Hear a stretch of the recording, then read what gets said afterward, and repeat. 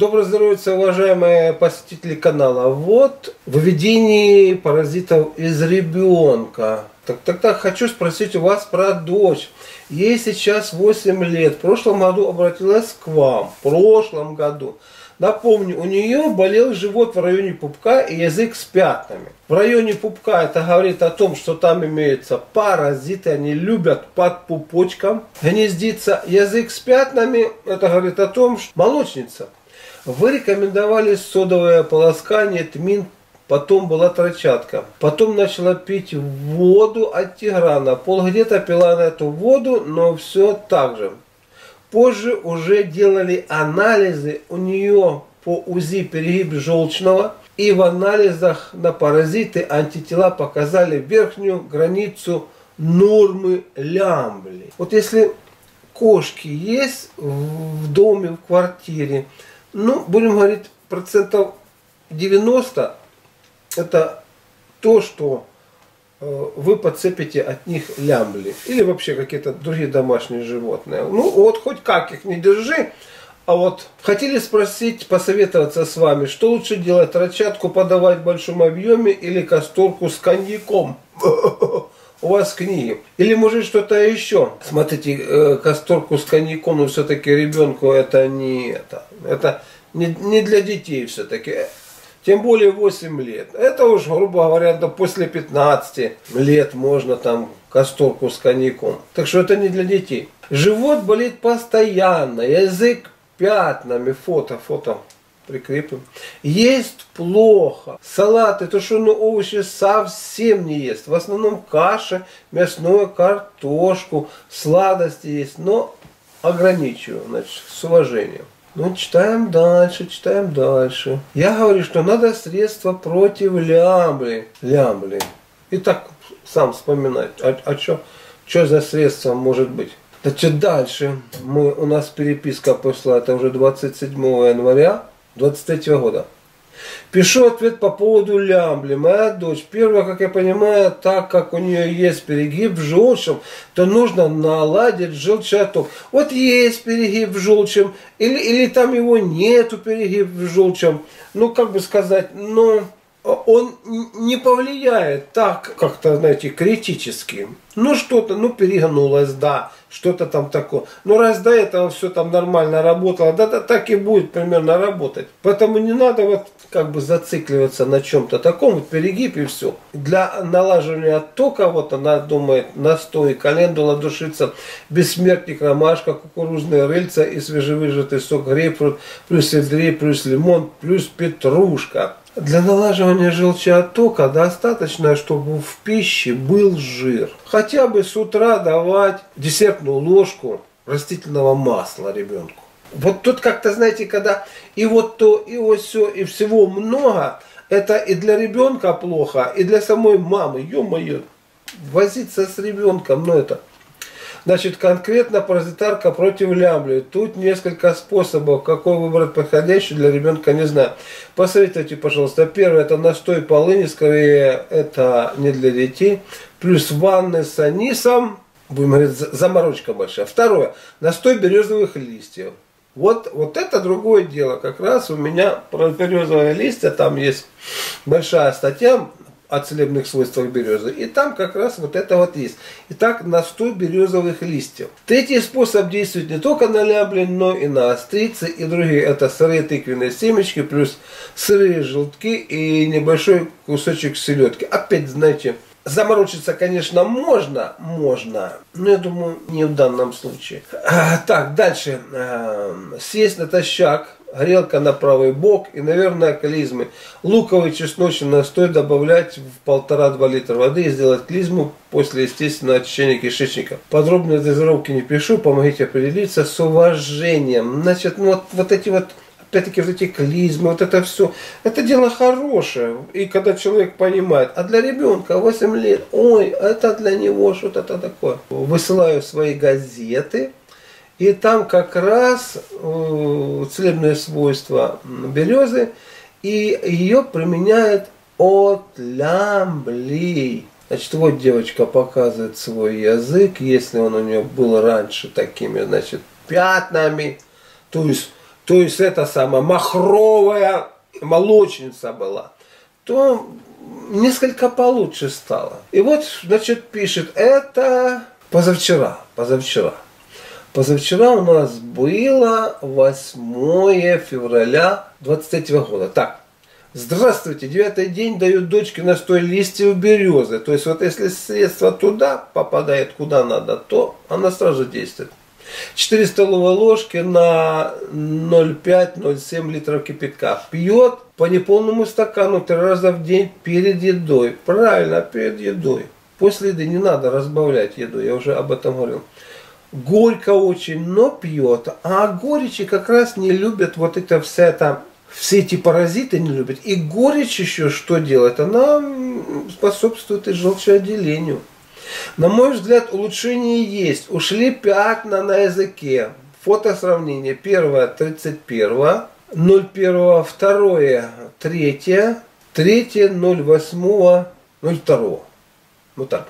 Но живот по-прежнему болит в районе пупка. Там засели, скорее всего, скориды. Я, значит, рекомендую, ну, это до меня уже такая рекомендация есть. Вы берете ватку, капаете каплю дегтя, ватку оборачиваете так, э, так заворачиваете, чтобы эта капля осталась внутри, чтобы она не соприкасалась с кожей. И в пупок. Дальше там лейкопластырем там заклеили и на ночь. Важно, чтобы не касалась кожи. Ничего там она не пропитывалась, а внутри. Вот этого достаточно, чтобы вот этот дегтярный запах, а деготь у нас опять-таки делается из березы, березовой коры, вот даже не березовой коры, а там э, прослоечка такая коры. Вот. И вот этот запах дегтярный начинает тут все, знаете, душняк наводить. Наводить душняк и, и, и, и действует. Все-таки надо, значит, вот этот вот э, соду не бросать. А разок, разок с утра ее так погасили и выпили. То есть натощак. Потому что имеется это махровая все-таки молочница, и, не, и она не так легко поддается, как вы думаете. Мы как-нибудь об этом поговорим отдельно, о лечении грибка еще. Сколько ей пить? Около месяца примерно. Это это. Да, да здесь можно, знаете как? Не то, что около месяца. Вот сначала, будем говорить, растительный препарат, он хорошо действует примерно первые 2-3 недели. Далее идет привыкание. Так вот, далее вы делаете недельку, и уже вы используете не три раза, а используйте, допустим, раз, две недели, опять недельку перерыв и используйте по, значит, два раза в день, чтобы у вас, как бы сказать, были такие промежутки между этими курсами. Плюс, чтобы вы регулярно использовали тмин. Вот тмин глотали, глотали, глотали. Плюс палочку гвоздики тоже можно проглотить. Все это легко глотается.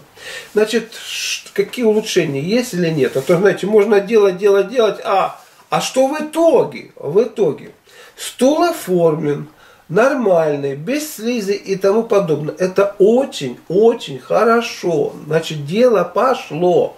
Не сразу не сразу все это дело выковыривается из организма. Также делаю ванны с анисом через день, пока только два раза сделала. Хотела спросить, можно делать клизму с добавлением настоя лука и чеснока в воду, чтобы быть в комплексе с уважением. Ну вот не надо вот эти клизмы, опять-таки. Кстати, вот для ребенка если вы хотите его а, отбить э, охоту к э, какому-либо лечению, вот это вот клизмы или еще какие-то процедуры, еще, старайтесь, что это все было более естественно. Более естественно. Ну что я советую? Никаких клизм не надо мучить ребенка, это хорошо, есть результат. Да, месячишка нормально, а вот потом она одна капля березового дегтя, а еще, а вот потом одна капля березового дегтя на 50 граммов молока раз в день на ночь. Это тоже хорошее средство и против лямбли, и против разного рода грибков, паразитов и так далее, и так далее.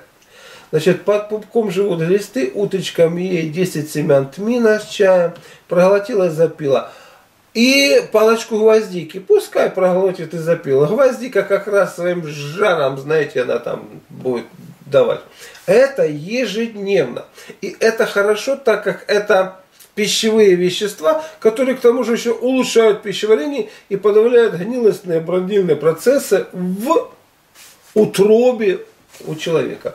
На ночь берите, значит, ватку, капайте каплю дегтя на пупок так, чтобы деготь не казался кожей, иначе возникнет раздражение. Сверху закрепили пластырем, утром сняли, протерли и уж школу. И так недели две, что будет получаться, пишите. Дальше пишет, э, не одна у нее дочечка, у этой мамы, пишет, спасибо за рекомендации, только не поняла ватку с дегтем, а ну это, это, отмины постоянно, отмин ей постоянно даю и всем детям. У нее от него ничего. А вот остальные двое, у них сопли пошли, слизь выход, и у сына стул стал регулярный. А, бывает два раза в день светлее, а был темный, с уважением. Вот, вот, вот, вот, вот, вот, вот, вот, вот. теперь смотрите. Ну, если один ребенок болеет, один ребенок болеет, там, грубо говоря, и все остальные, просто они на разных стадиях а, заражения паразитами находят и болезни. Сопли пошли, слизь выходит. Так вот как раз начал создаваться душняк, и вот эта вот вся эта мерзота, все эти там паразиты, которые имеются, они начали выходить, выходят в виде слизи. Это очень хорошо. В противном случае эта слизь, вот тут она купится, утробе, в ней заведутся глисты и, и, и, и пойдет, пойдет, поедет по всему организму. А это все выбрасывается, все там, допустим, грибница или что там там такое, она не удерживает. И, и слизь выходит и у сына, стул стал регулярный. Бывает два раза в день. И светлый, а был темный. Темный, я уже, помните, вам говорил, ну, кто смотрит регулярно, интересуется, тот знает. Темный, это говорит о том, что каловые массы застаиваются и идет как бы сказать, их окисление, вот они, чем больше они находятся в организме, тем темнее они становятся. А когда быстренько все это нормально выводится, то стул у нас светленький, то есть он желтоватый, как и положено быть прекрасные результаты. Одним словом, продолжать, видите, и дети болеют, и взрослые болеют, да, та та та та та И надо как-то так это все, знаете, вот, а, наладить, чтобы было всем комфортно, легко и просто. Ну, дальше почитаем, посмотрим, что, что и как. Так вот, немножечко поговорим о благотворительности. Все люди, во все времена поддерживали добрые, хорошие начинания. И если вы чувствуете, что моя работа приносит пользу, проявите свою благотворительность на развитие вот этого дела, которое помогает Потому что о здоровом образе жизни, настоящем таком, каким он должен быть, без разного рода пилюлики и прочих-прочих, никто не говорит. Только здесь, на канале. Об этом полноценно, во всем объеме и углубленно рассказывается. Проявляйте свою благотворительность щедрость, какую вы можете сделать. С уважением и пожеланием доброго здоровья.